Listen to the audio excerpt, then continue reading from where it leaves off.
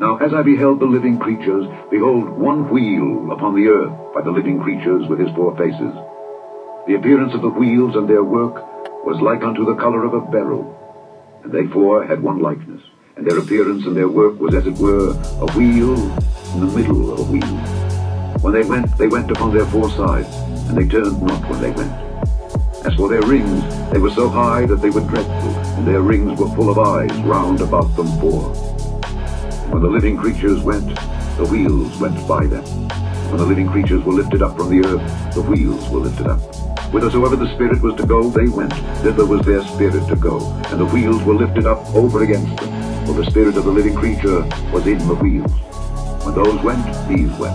And when those stood, these stood. And when those were lifted up from the earth, the wheels were lifted up over against them. For the spirit of the living creature was in the wheels. And the likeness of the firmament upon the heads of the living creature was as the color of the terrible crystal stretched forth over their heads above. And unto the firmament were their wings straight, the one toward the other. Every one had two which covered on this side, and every one had two which covered on that side their bodies. When they went, I heard the noise of their wings, like the noise of great waters, as the voice of the Almighty, the voice of speech, as the noise of an host. When they stood, they let down their wings. And there was a voice from the firmament that was over their heads when they stood and had let down their wings. And above the firmament that was over their heads was the likeness of a throne, as the appearance of a sapphire stone.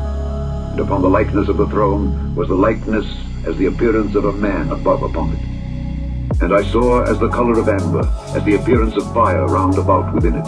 From the appearance of his loins even upward, and from the appearance of his loins even downward, I saw as it were the appearance of fire, and it had brightness round about. Likeness of the throne was the likeness as the appearance of a man above upon it.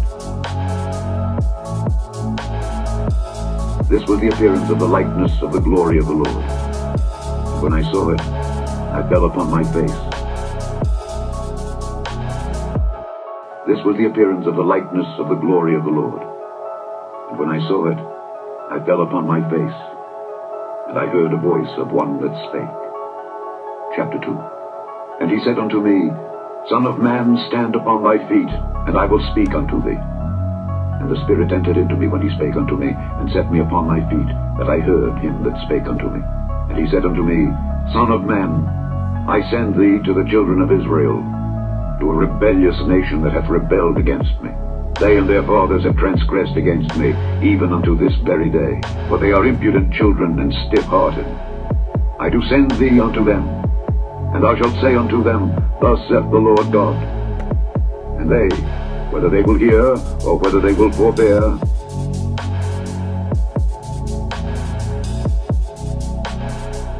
and they, whether they will hear, or whether they will forbear, for they are a rebellious house, yet shall know that there hath been a prophet among them. And thou, son of man, be not afraid of them, neither be afraid of their words, though briars and thorns be with thee, and thou dost dwell among scorpions. Be not afraid of their words, nor be dismayed at their looks, though they be a rebellious house. And thou shalt speak my words unto them, whether they will hear, or whether they will forbear, for they are most rebellious. But thou, son of man, hear what I say unto thee. Be not thou rebellious like that rebellious house. Open thy mouth, and eat that I give thee. And when I looked, behold, an hand was sent unto me. And lo, a roll of a book was therein, and he spread it before me, and it was written within and without. There was written therein lamentation, and mourning, and woe.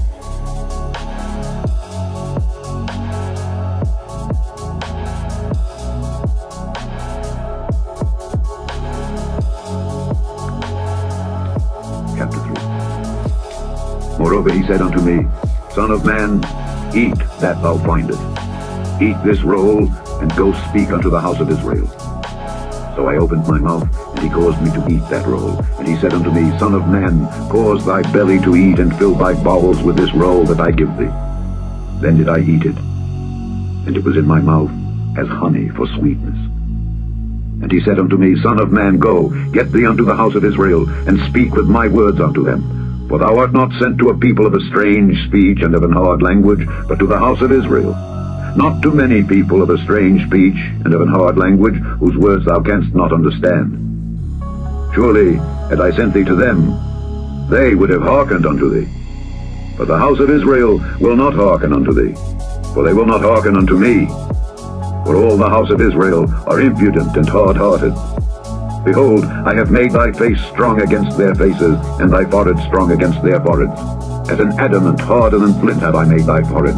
Fear them not, neither be dismayed at their looks, though they be a rebellious house.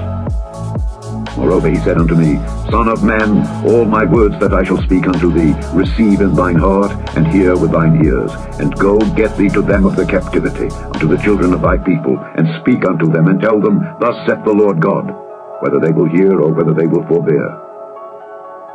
Then the Spirit took me up, and I heard behind me a voice of a great rushing, saying, Blessed be the glory of the Lord from his place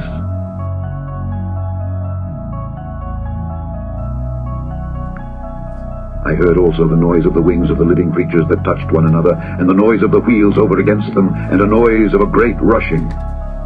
So the Spirit lifted me up and took me away, and I went in bitterness, in the heat of my spirit. The hand of the Lord was strong upon me. Then I came to them of the captivity at Tel Abib, that dwelt by the river of Chebar, and I sat where they sat, and remained there astonished among them seven days. And it came to pass at the end of seven days that the word of the Lord came unto me, saying, Son of man, I have made thee a watchman unto the house of Israel. Therefore hear the word at my mouth, and give them warning from me. When I say unto the wicked, Thou shalt surely die, and thou givest him not warning, nor speakest to warn the wicked from his wicked way to save his life, the same wicked man shall die in his iniquity, but his blood will I require at thine hand. Yet if thou warn the wicked, and he turn not from his wickedness, nor from his wicked way, he shall die in his iniquity, but thou hast delivered thy soul. Again, when a righteous man doth turn from his righteousness and commit iniquity, and I lay a stumbling block before him, he shall die.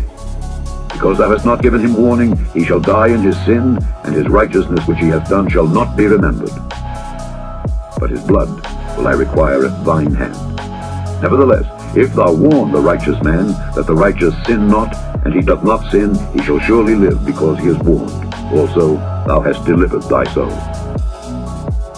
The hand of the Lord was there upon me, and he said unto me, Arise, go forth into the plain, and I will there talk with thee.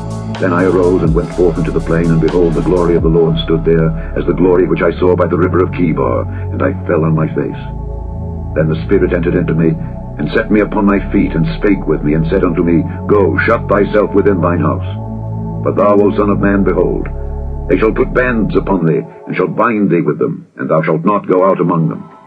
And I will make thy tongue cleave to the roof of thy mouth, that thou shalt be dumb, and shalt not be to them a reprover. For they are a rebellious house.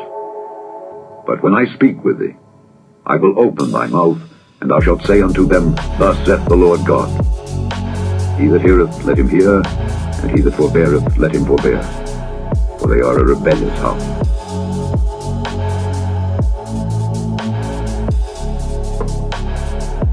Are we not? They have divided us. And on the surface, we're fighting each other due to this religious divide. Are we not?